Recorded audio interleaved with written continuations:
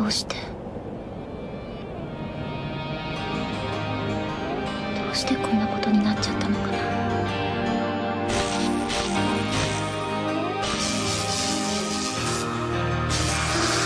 失礼。君があの二坂美琴君かい？世の中には自分の手足も自由に動かせずに苦しんでいる人が大勢いるんだ。脳の命令というのは電気信号によって筋肉に伝えられる。もし生体電気を操る力があれば救いの光を与えることができるかもしれない。あなたの能力を応用すればみんなを救えるかもしれないのよ。ねえ知ってる？学園都市のどこかで軍用クローンが作られてるって噂。レベル5の DNA マップを使ってるって話でしょ？それってもしかしてうちのクラスの？バカバカしい。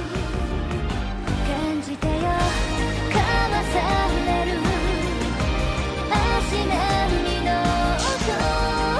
音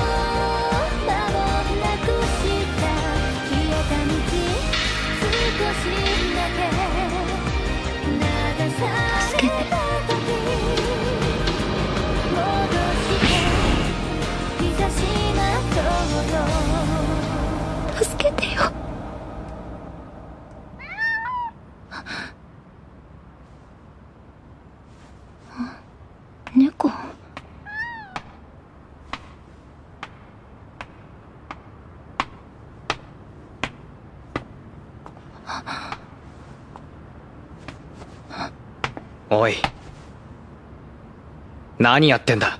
お前。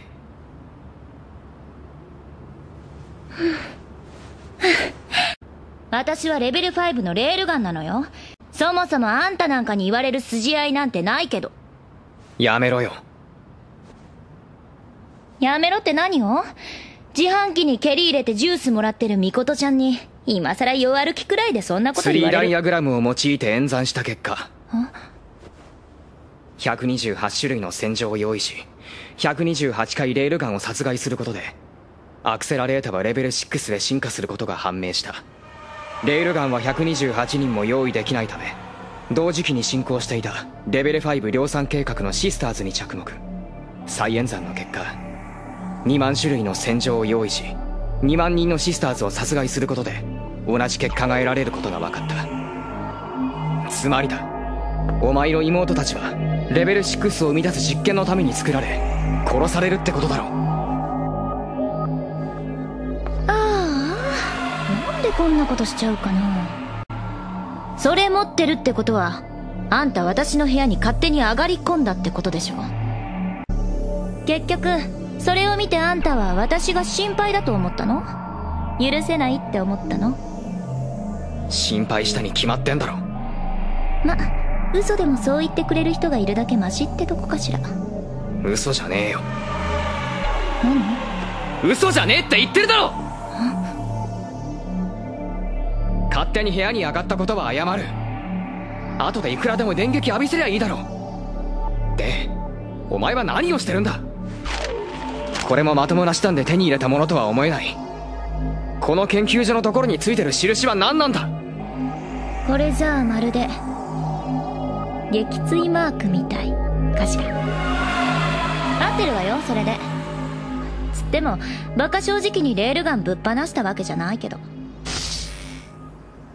研究所の機材って1台数億とかするでしょ？ネットを介してそいつを私の力で根こそぎドカン。その結果研究所は閉鎖。プロジェクトは凍結。ってなるはずだったんだけどね。はずだった。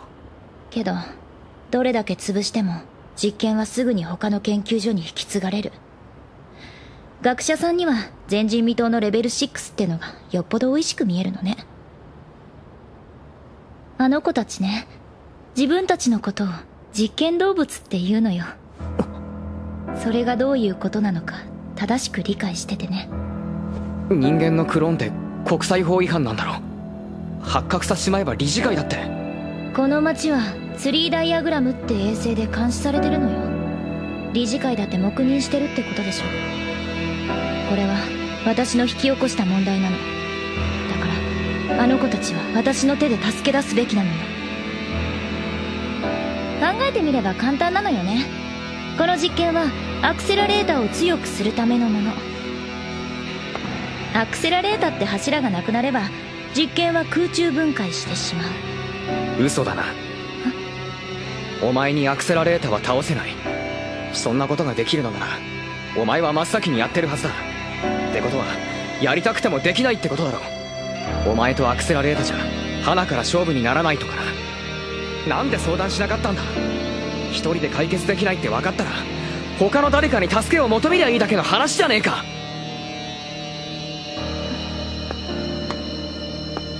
2万人のシスターズを用意したのはなぜ？レールガンを128人も用意できないから。レールガンを128人も必要とするのはなぜ？レールガンを128回殺せばアクセラレータがレベル6に進化するから。もしも私にそれだけの価値がなかったら128回殺してもレベル6なんかたどり着けない。研究者たちにそう思わせることができたら。実際ツリーダイアグラムは私とアクセラレーターが戦えば185手で私が死ぬっていう計算結果を弾き出してる。けどもし最初の一手で私が無様に敗北したとしたらその結果を見た研究者たちはきっとこう思うわ。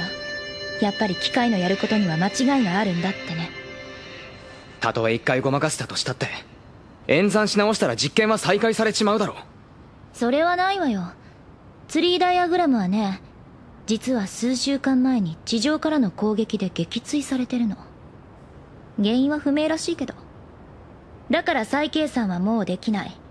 データがいくら残ってたって分析することができなきゃ実験全体をストップさせるしかないわ。そっか。お前死のうとしてるんだな。ええ。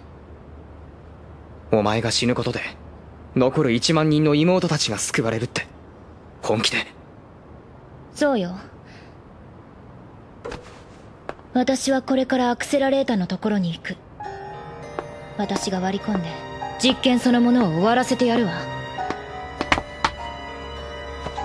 どいて。どかねえよ。は？あんた自分が何言ってるか分かってる？私が死ななきゃ1万人のシスターズが殺されんのよ？まさかクローンだから死んでも構わないって思ってるんじゃないでしょうね。あいつらが死んでもいい存在だなんて思わねえ。だからって何か他に方法があるってわけでもない。それでも嫌なんだ。そう。あんたは私を止めるのね。1万人のシスターズの命なんてどうでもいいっていうのね。私はあの子たちが傷つくのは見てられないの。だからこの手で救ってみせる。これが最後の通告よ。そこをどきなさい。あんたがどんな力を持ってるか未だにわからないけど今日は負けるわけにはいかない。だからあんたも死ぬ気で拳を握りなさい。じゃないと本当に死ぬわよ。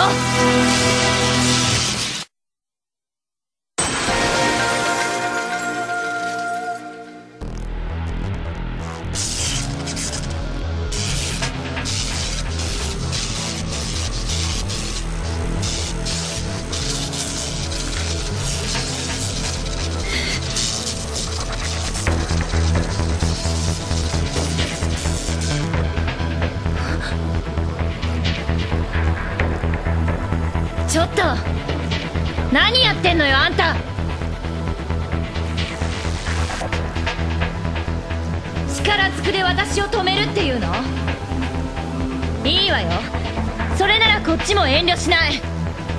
たとえあんたが無抵抗でも私はあんたを撃ち抜く。戦わない。戦わない。バカじゃないの？私にはもうこの方法以外には道はないの。これはあんたの知ってる日常なんかじゃない。1万人以上の人間が簡単に殺されてる非日常の地獄なのよ戦わないだなんてそんなひよった意見が通るはずないじゃない。それでもそれでも戦いたくない。戦えって言ってるのに。戦えって言ってんのよ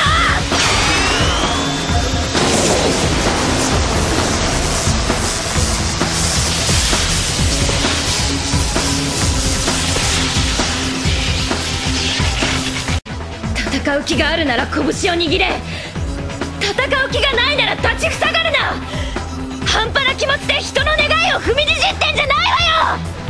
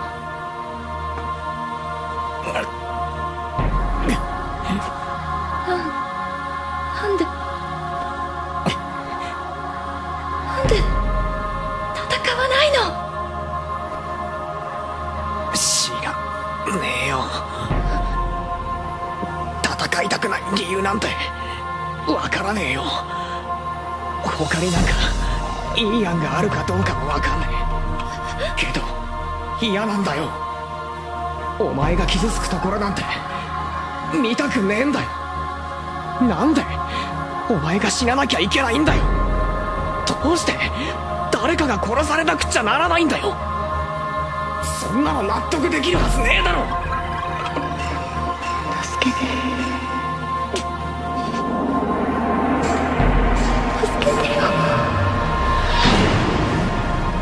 るさいのよ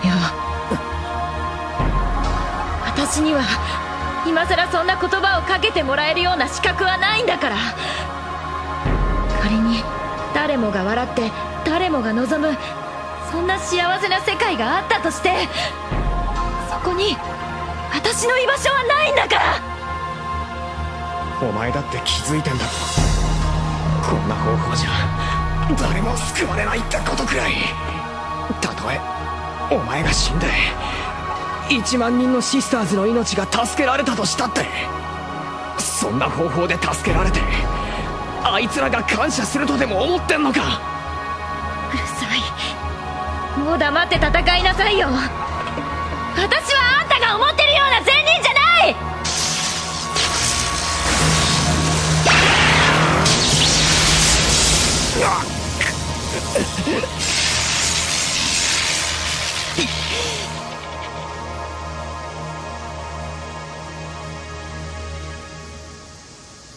私はもう1万人以上の人間を殺したのよ。そんな悪党がこの世界で生きてていい理由なんか。何もない。一体どうして？あんたはこんな悪党のために立ち上がってんのよ。悪党なんかじゃねえ。だったらなんで俺は生きてるんだよ。あんだけの電流浴びて普通の人間が生きてられるわけねえだろ。無意識に手加減してたんじゃねえのか？手加減？そんなはずない。私はあんたを殺す気だった。あんたが抵抗してこないって知ってて。それでも！それでも俺は殺せなかった。お前にとって自分の命で妹たちを助けることは最後の夢だったのかもしれないけど結局はその夢を奪おうとした男さえ殺せないほど善人だったってだけじゃねえか。あの子たちを助けるにはもう私が死ぬしかないんだから。だからそれでいいじゃない。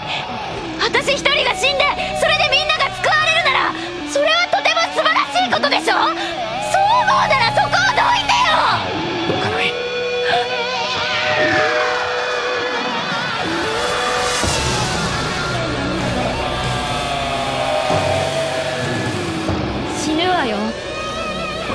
撃をまともに食らったらあんたは絶対に生きられない。だから死にたくなければどきなさい！